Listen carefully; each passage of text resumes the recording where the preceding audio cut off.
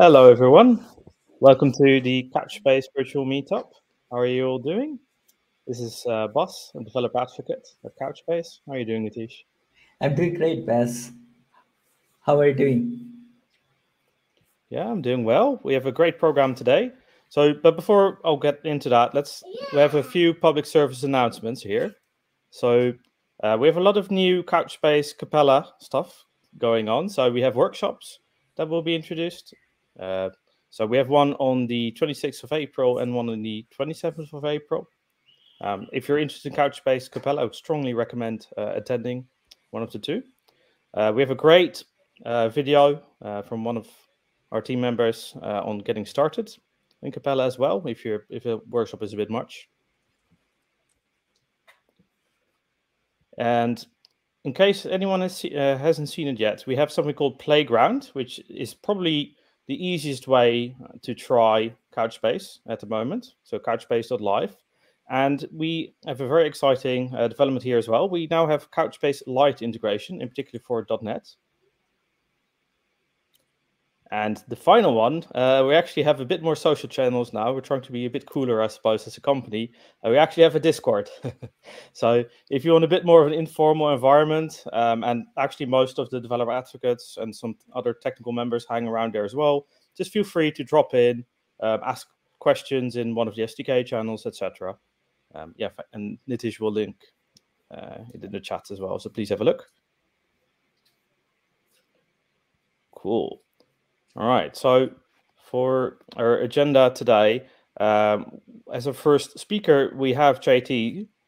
Uh, sadly, they won't be able to uh, attend, but they did pre-record a video. And we also ha have uh, Charlie later for another shell session. He will actually be able to uh, answer some of the questions for um, the Nushell video. So please do think about questions, actually, because we will have some time uh, to answer those. All right, so a little bit about JT. So JT um, has worked on a lot of languages. So LLVM, Clang at Apple, uh, TypeScript on Microsoft, and after that, uh, Rust at Mozilla. And this is kind of what they've kept doing because now they've uh, actually uh, written their own shell called Nushell, uh, implemented in Rust. And this is an extension of kind of the idea of Unix pipes and modern day programming languages uh, practices uh, as a structured shell.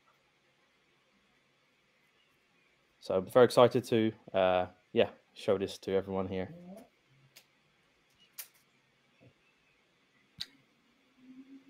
Thank you for inviting me to give a talk um, about Nushell, kind of a, a quick introduction to how it works. Before I get started, I just wanted to talk a little bit about some of the philosophy behind Nushell. Nushell is inspired by three really well-known projects. The first one is Bash, or Fish, shells in general. Um, Bash is the first that comes to mind for a lot of folks, and Fish for um, the kind of more 90s crowd. but uh, this idea of having a shell that you can interactively work with everything in your system. And it's really something that if you come from a Unix background, you really already know there's a ton of value in that. But what we wanted to do is kind of bring that kind of shell based way of working cross platform. So it works the same way in Windows and Linux and Mac OS, but really inspired by Bash and by Fish and shells like that. So that's our first inspiration. Our second inspiration is Python this cool idea of something that feels pretty lightweight, but has a ton of additional functionality, especially when you dig deep. You can find mathematics libraries and science libraries, data frames, all kinds of stuff for doing data processing. And what we wanted in Nushell is something very similar. We wanted to be able to start with really small ideas and grow them up and have a language that really supports going from the small to the quite large. And finally, the last one is PowerShell. PowerShell is one of the only shells that actually took the idea of a shell, kind of the Unix pipeline idea, and extended it into something that's a little bit more structured. For PowerShell, that's object-oriented programming and objects For Nushell, as we'll see here in a second, it's all about the pipelines and a universal form of data. Okay, so what in the world does that mean? So what I'm going to do is just walk you through a couple examples of what it's like to use Nushell. And my hope is as we go through the examples, it will kind of click. You'll get you'll get that aha moment of why we went in this particular direction, why we took inspiration from these three projects, and where we hope to go in the future. First thing I'm going to do is type ls. ls, for folks that are not familiar, is going to just list the entries in this directory. So you can see I've got a table, I've got a list of files, and I've got sizes and, dates and whatnot. This table it's not just a visual way of looking at these, you know, kind of a, a cute way of looking at the entries, but in fact is structured data. Each one of these rows is a set of data points that I can pull in. So if I wanted to, what I could do is take this ls and then do a certain kind of activity over this data. Uh, so here I'm going to do ls and say where size is greater than 10 kilobytes. So I've taken that whole data set, filtered it down to just the data set that I want, which is those two those two files that are of that particular size. I could do the same kind of thing with a different command. So here I'll say sort by size. And it's going to go from small to large, you can see right? And this is all working on the structured data. To really kind of drive that idea home, let's take those same commands and use PS. PS is going to um, list out the processes that are running on my system. So here are all the, the processes on my system. And I can do PS and then say sort by the memory that they use. You'll notice this memory column is now sorting from small to large. Now, if you're familiar with Bash, I want you to take a second and see if you can remember how to do that in Bash.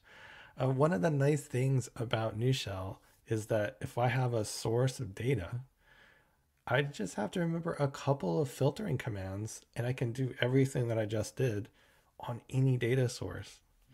And Nushell not only has ls and ps, I could say uh, in this directory, I've got a TOML file. That's one of the data file formats that we support. So I can just say open cargo.toml. And here we get a record. Same thing.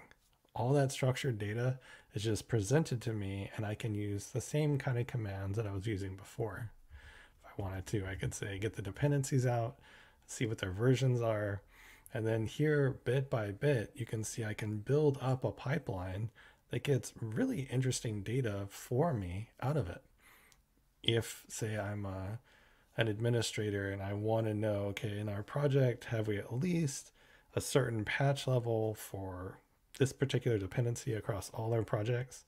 It's trivial to write a little script that goes into each, you know, each subdirectory, opens the file, grabs the dependency, and makes sure that it's over a certain, you know, certain version number. So really we wanted to take this idea of the pipeline and the structured pipeline and then to make it composable.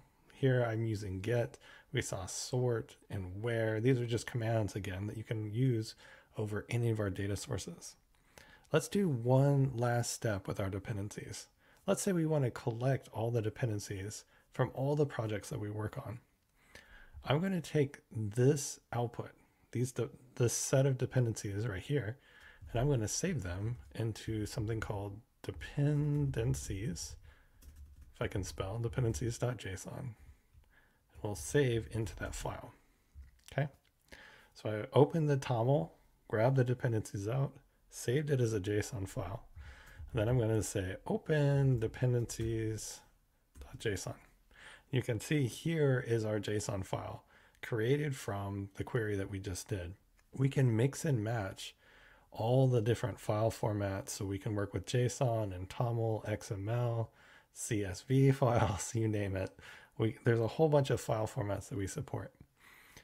Additionally, what we can do is go and fetch things from a URL. So there's a command called fetch, and here you can see um, me going and, and getting the Nushell releases and then creating a, a JSON of all the releases. So if I can, you know, go look at that, same idea, right? These are all the releases for a Nushell. Or I can do a post, same idea, right? So we can post to some website, get the data back, and then start using it. Again, because we're working in structured data and we have pipelines that work on that structured data, all that composition just works. Let me show you something else. Um, in the current Nushell, this is 0.60. Uh, let me just open this, this uh, configuration file. So this is the current configuration file for Nushell. And what you can see up here at the top is examples of what it looks like to create a function in Nushell. Uh, we call these custom commands, but the same idea, right? I run this command with some parameters and it has input and output. And then so I can I can connect this up to other things in the pipeline and then it will act as one of the commands in that pipeline. So you can create, you know, functions out of the pipelines that you create and there's modules. So here we've got some modules for completions. So Nushell as a language is just as important as Nushell as a shell. And I think as a user, that means that as I'm doing like interactive things in the shell and doing some pipelines, maybe I'm working with some data and getting it just how I want it, I don't want to lose that, right? I can easily turn that pipeline into something that I can reuse, put it into a module somewhere and make that something that, you know, two weeks from now, I can go grab that module, grab the import and keep working using those same pipelines that I already spent time building up. We really want it to be such that, you know, you grow again from that very small to the very large. As we were talking about with Python, you can, you know, grow out to those those larger applications. I used to work on the TypeScript programming language. Nushell takes a lot of the inspiration uh, for that. So you, we can do completions. Uh, so for example, if I say open, and I hit tab, it's going to say, oh, there's a file path that should go here. And it gives me completions on that file path. If I say dash dash, you can see there's a list of flags. It tells me what the flags are and a little bit of help text to go along with each one. And these completions work um, in various other ways too. So if I say git checkout and then hit tab, you'll see all of the branches for my, my git. And these kind of completions that we're seeing here, these custom completions can be created by anybody. And we're starting to get a collection of ones that are created by, you know, just contributors to Nushell. I'll, I'll mention this really quickly uh, as a as a cool little aside, there's an area of Nushell that will be continuing to evolve, and that is data frames. So I can um, I can hit DFR and hit tab. You can see a whole bunch of commands that are intended to be data frame commands. Once we get this where we want it, the idea of having data frames as just part of the language and part of the engine mean that users will be able to easily take a script that they've written and if their data source is really large, like a really large CSV file, they'll be able to open it up in the data frame part of the system, do all the manipulation that they need to do. And of course, using the, the data frame engine, it can be extremely fast. So we're really excited about this part and there's a whole bunch of features that we want to add, but I just wanted to mention it really quickly. And that's it. That's kind of Nushell in a nutshell.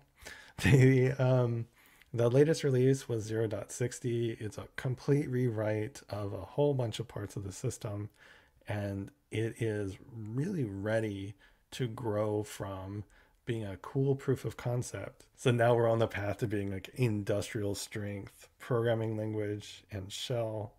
Thanks so much for having me on. Um, if you try out Nushell, feel free to send me a tweet. I'm at JNTRNR and let me know what you think.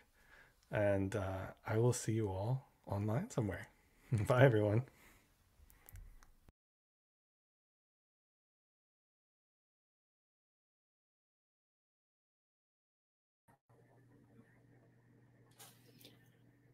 Cool. Thank you, everyone. I hope everyone really enjoyed the talk about Nushell from JT. Um, as JT said, feel free to also ask him questions directly uh, using his Twitter. And we also have Charlie here now to handle any questions if anyone has any. Hi, Charlie. Oh, yeah.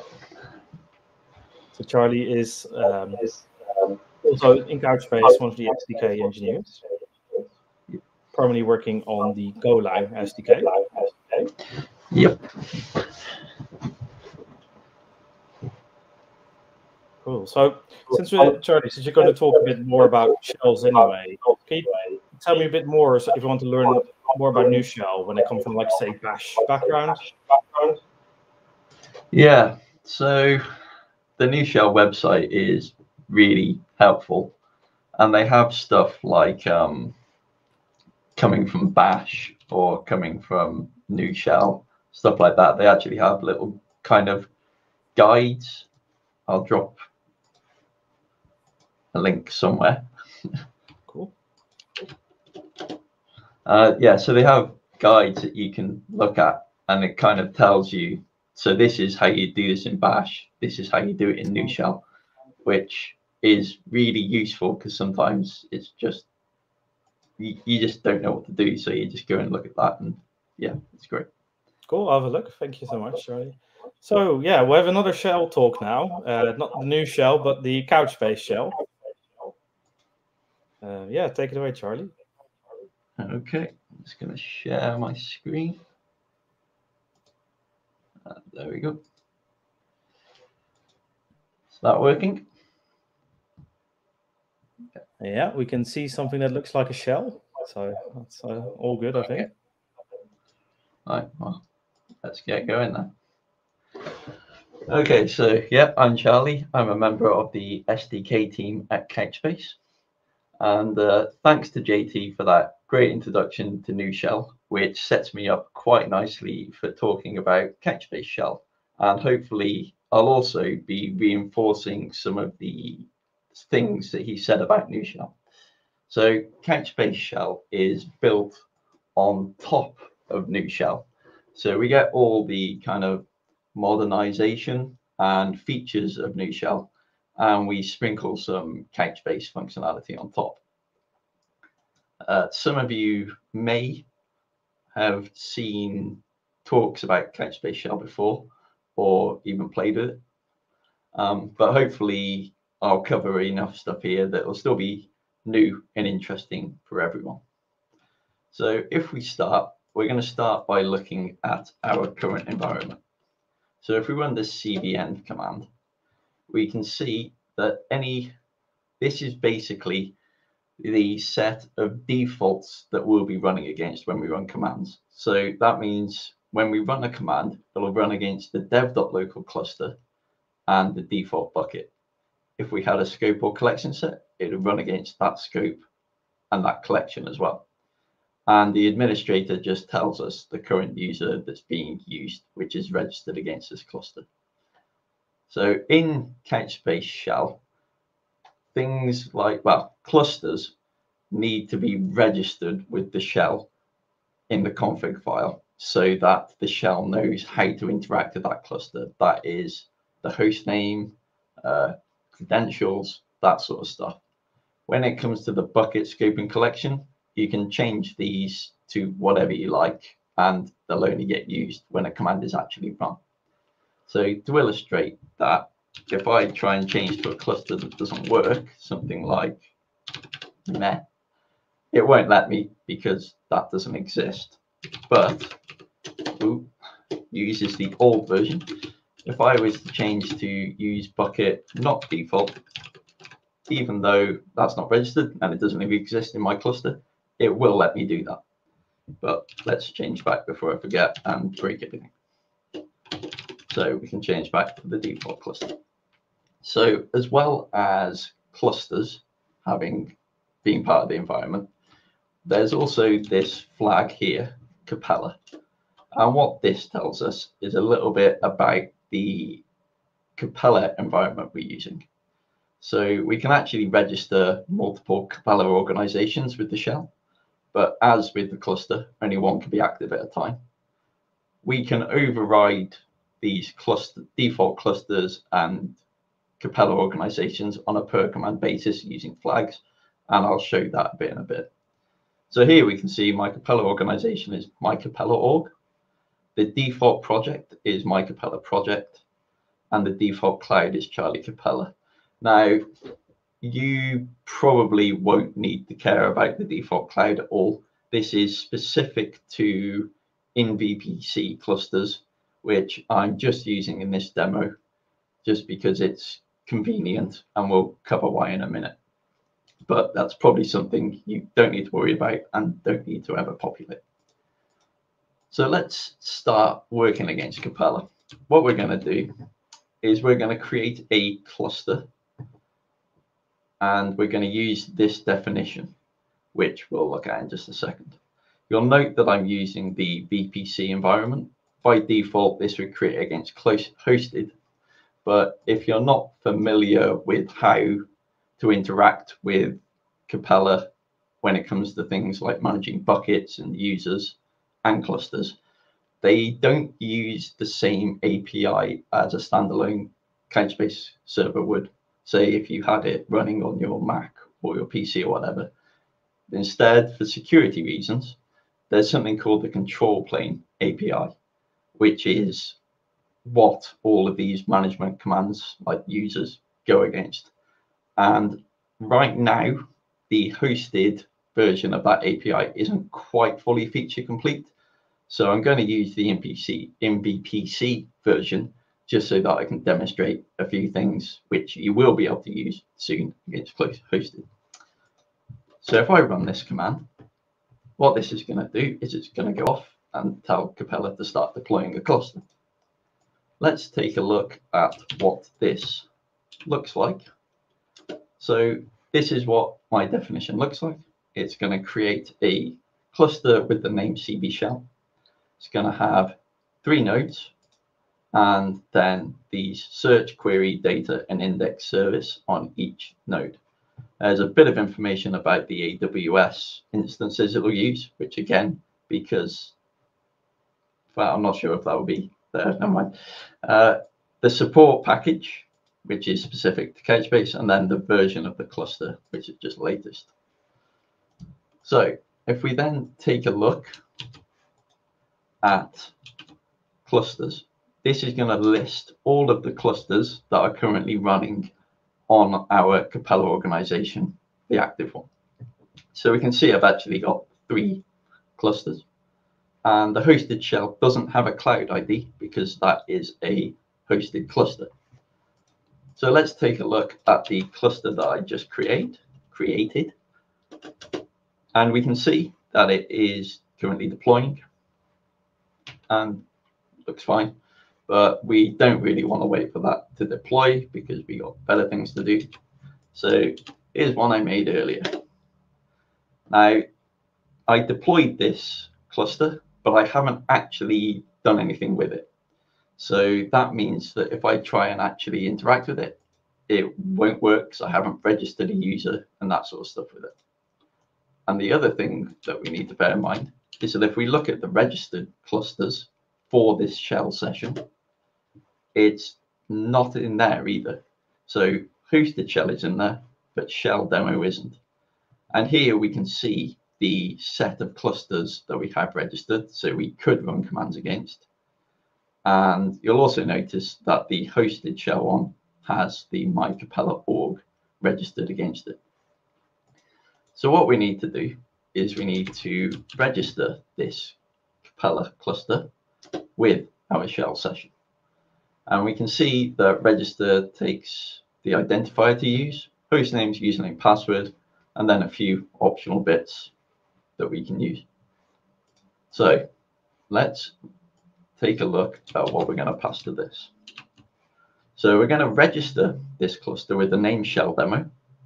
We're going to use this SRV record, which we got from here.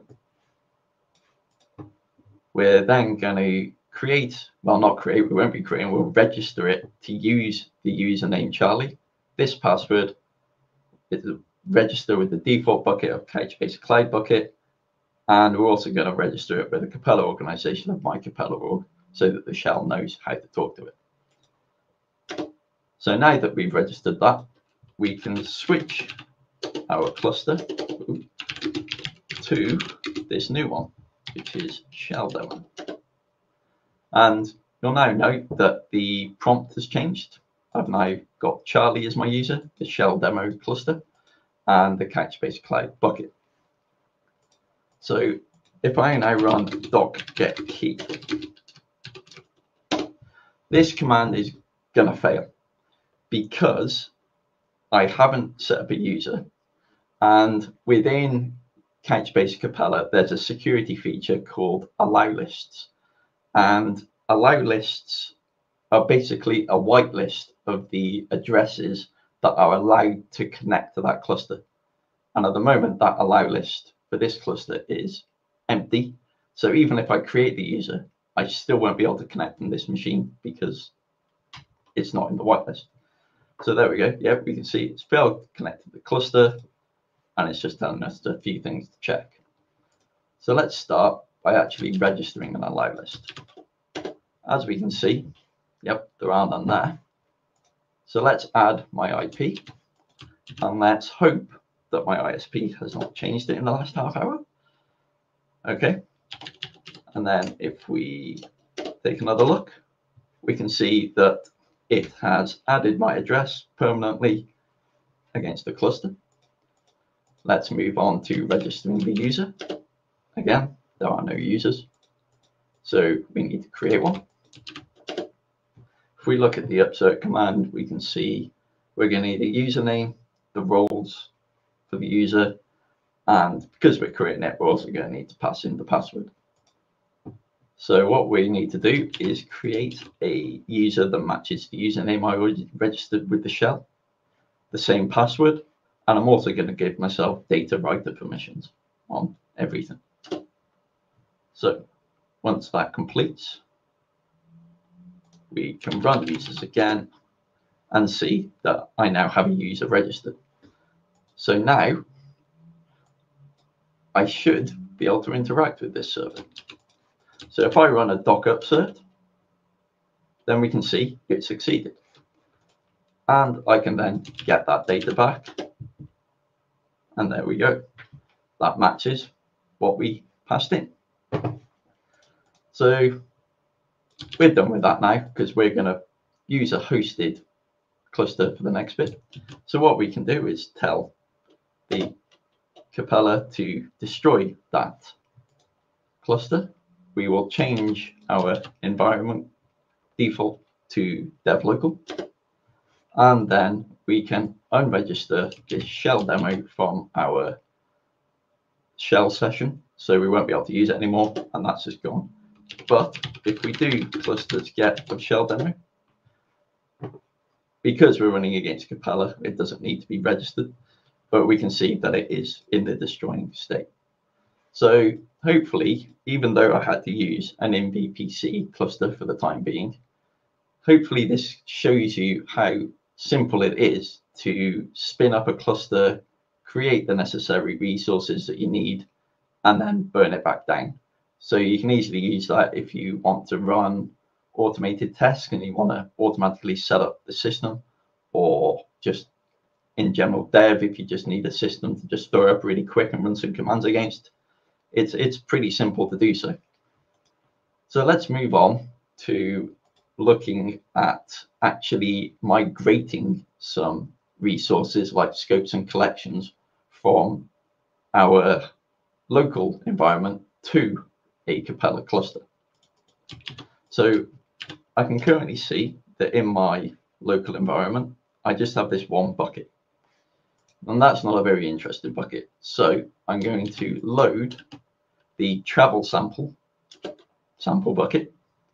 And then if I run buckets again, we can see that's now loaded and I can use it. So I'm going to change my default bucket to travel sample just because it makes it a lot easier when we come to run the commands. And within this travel sample bucket, we can see that I have these scopes and collections. However, if I run these commands against this hosted shell, I can see that I don't have these. That all that's registered on there is the underscore default ones, which come with the bucket. So what I want to do is I want to take all these scopes here and all these collections here, and I want to move them to Capella. So to move the scopes, I'm going to run the scopes command. I'm going to select the scopes column to restrict the table just down to that single column.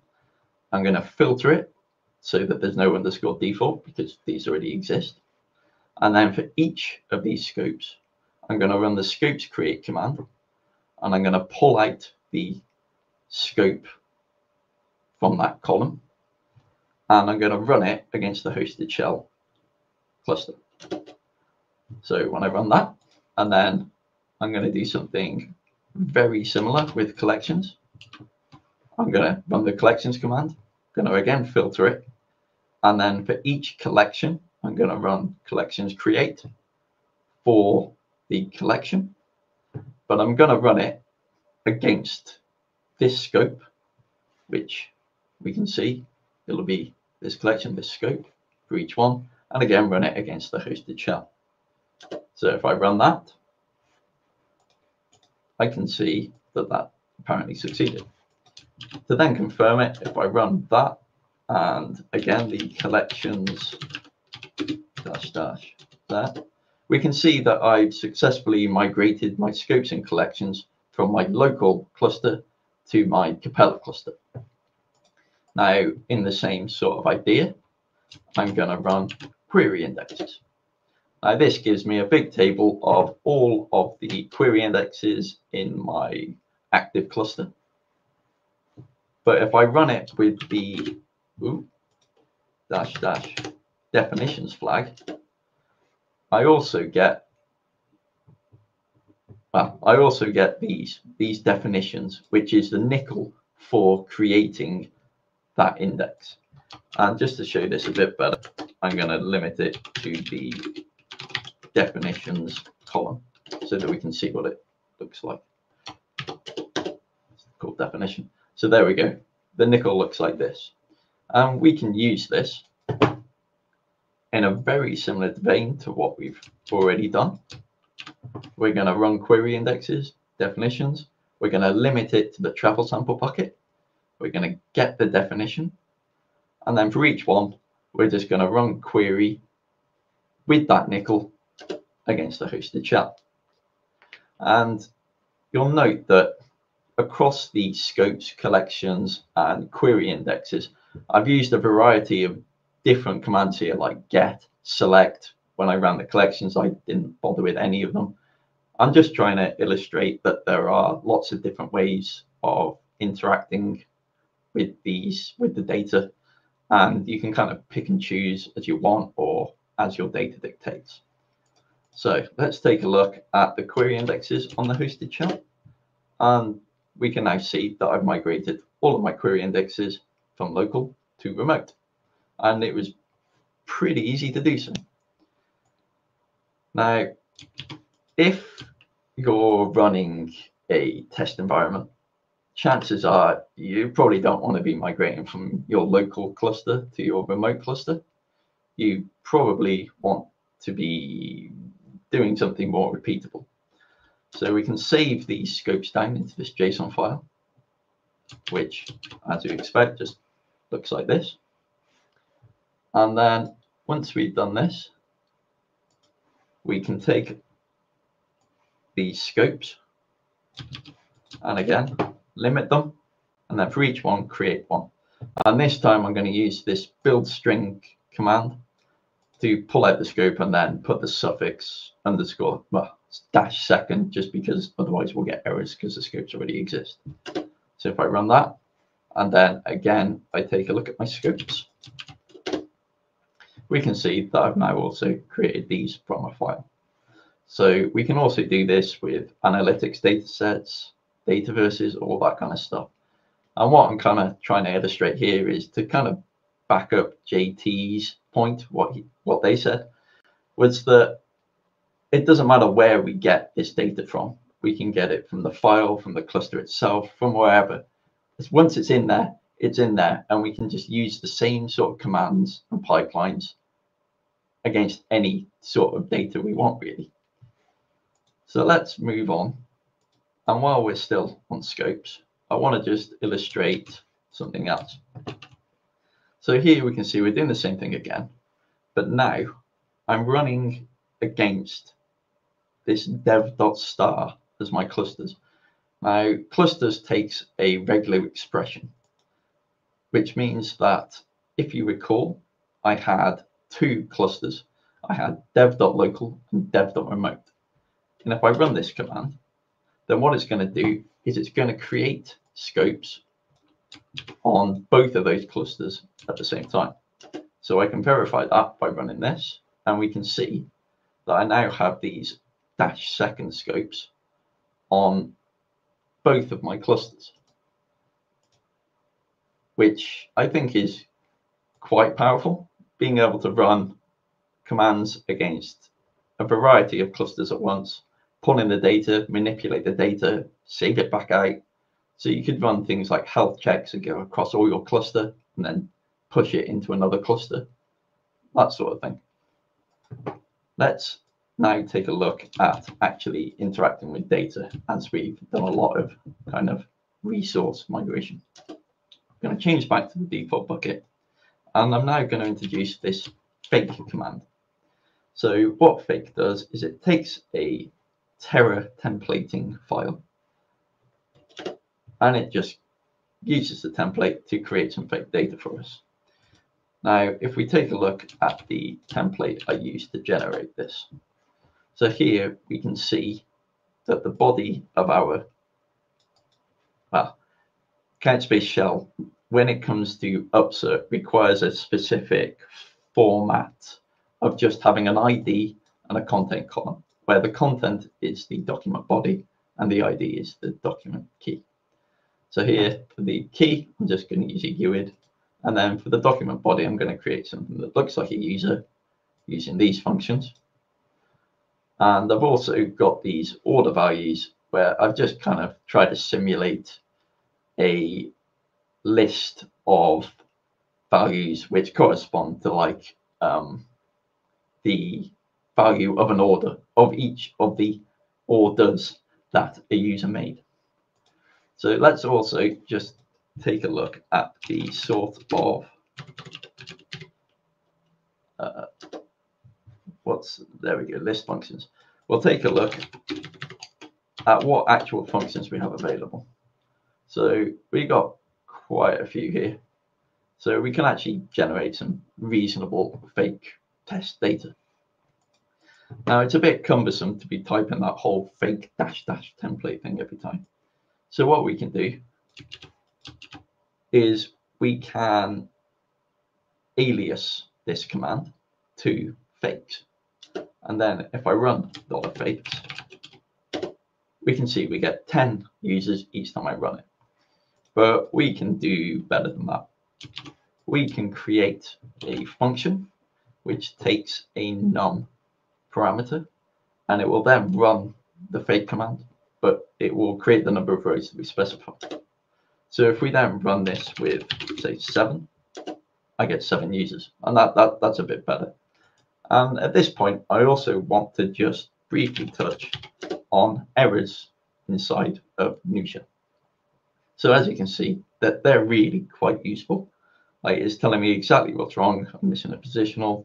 Tell, even tells me the name of what it is and how to use it. And in general, Nushell errors are really helpful and try to actually tell you what you've done wrong and how to fix it. So anyway, let, let's make some users and we're going to upsert them into the cluster.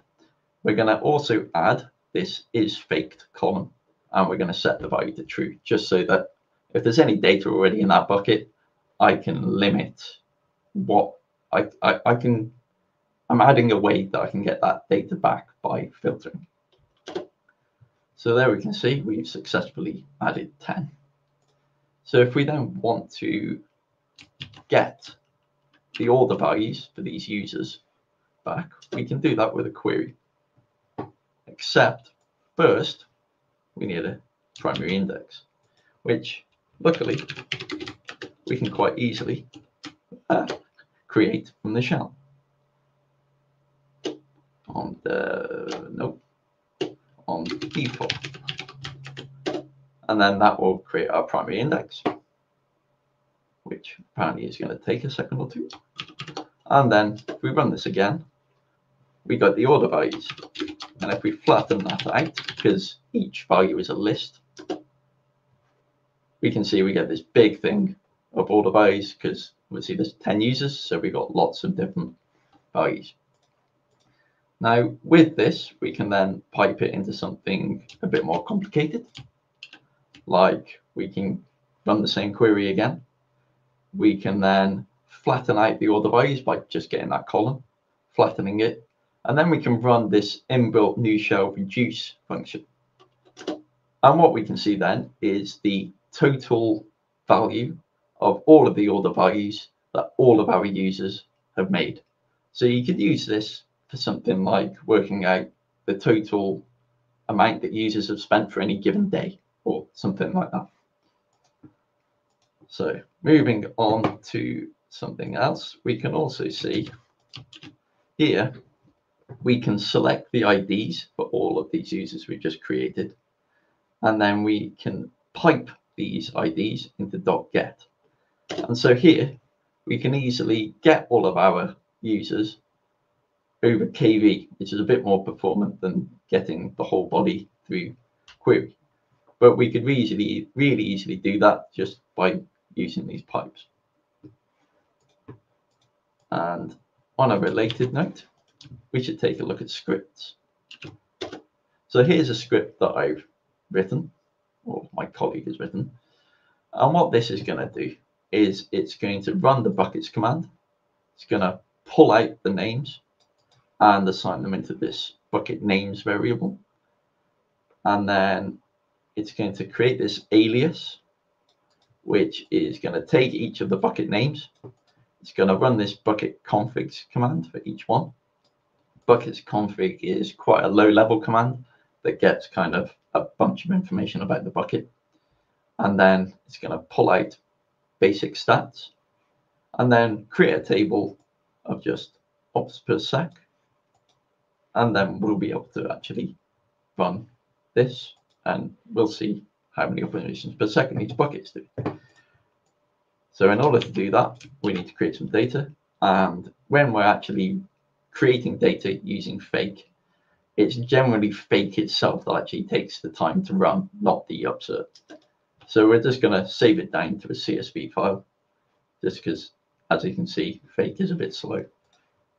And then what we can do is we can open fake oh, oh, users and docker upsert. So there we've upserted a thousand users, and again, and again, and again. So then hopefully, when we run our script, we'll actually get something out of it. And there we go. We can see the default bucket is undergoing 400 operations per second. So I think next what we need to look at is our config. If we look in the .cbsh directory, the two files in here that matter are config and credentials. I'll explain credentials in a minute, but config looks like this. So here we can see I've got three clusters registered. You may recognize dev local, dev remote, hosted shell. And it's got things like the host names, credentials, defaults that it will run against, um, and registering the Capella organization here that it will be using, and then timeouts and stuff like that.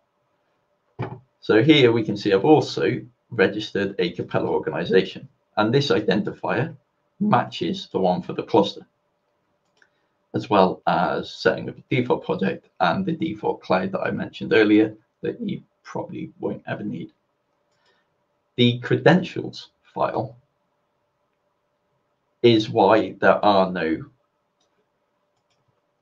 Capella organizations require to interact with them, you have to set up an API key.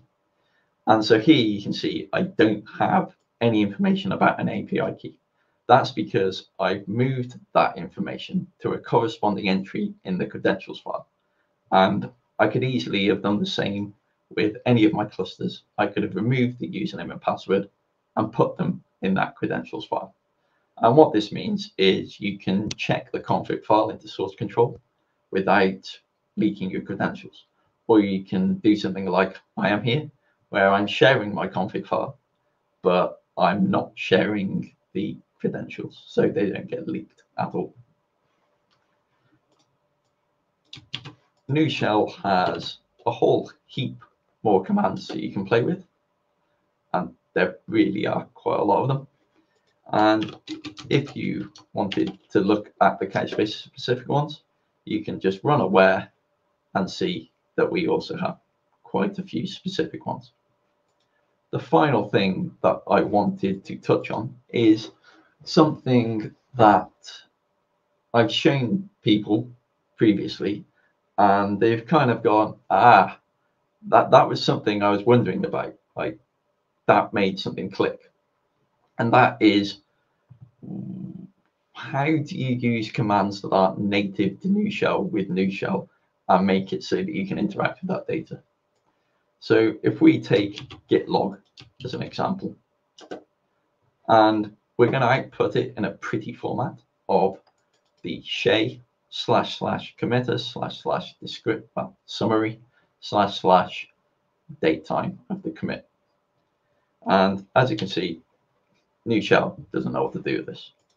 But there are a bunch of built-in commands in Nushell which can help us to make sense of this data. So the first thing we're going to do is pipe it into lines. And then for each line in that git log we've got a table in a row. We can then take this and pipe it into split which will then take each of these slashes and do a split on it. And then for each corresponding entry, make a column out of it.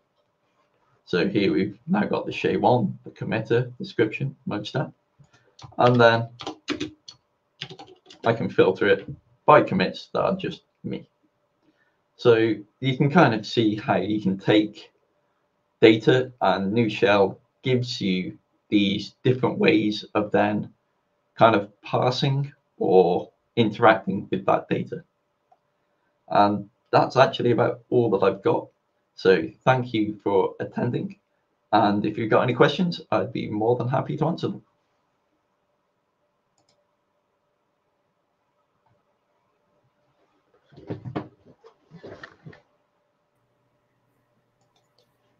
Cool. Thank you so much, Charlie. I'll just wait a minute to see if anyone has any questions.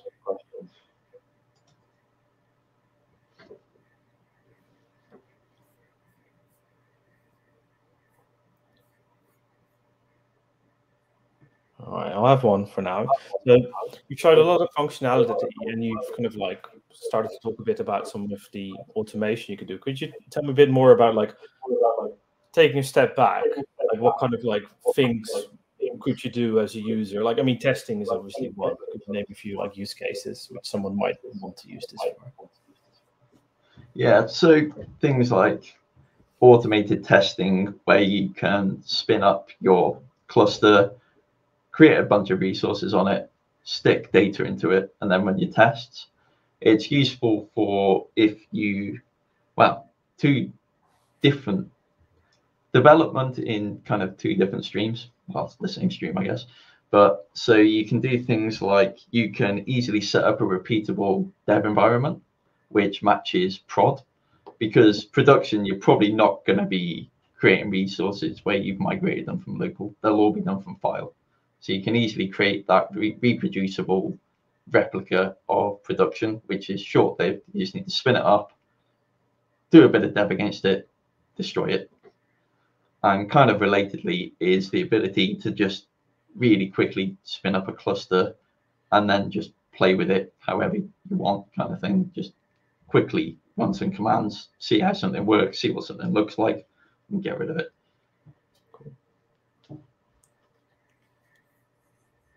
The one supposedly slightly mean question as well. Or maybe you know it. So uh, having it like you showed the error messages in Nushell, which were quite impressive. Do you know whether this relies on on Rust as a type system or whether this was actually used uh, done using Nushell uh, error message? Kind of curious what it leverages.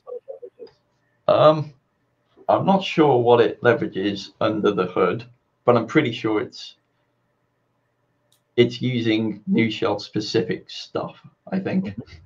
Like obviously, the error messages seem to be very Rust kind of influenced. Yeah, that's why I asked because like I know Rust is really strong in error messaging. So yeah, yes, uh, it is. The, the Rust compiler gives you errors where there's an error in your code and it tells you how to fix it before you've even had to go and look up how to fix it. exactly, exactly. cool. Well, thank you so much, Charlie. It's a great presentation. Uh, Couchbase Shell. I think we don't have any questions in the channel. So yeah, I, I, would say thank you so much everyone for their time. Um, like we said before, there were a few announcements in case you've missed them. Um, we have Couchbase Discord, a new Capella tutorial, Capella workshops. Please have a look in the links we've uh, put in before. And yeah, thank you so much for everyone's time. And thank you, Charlie. Thank you for having me.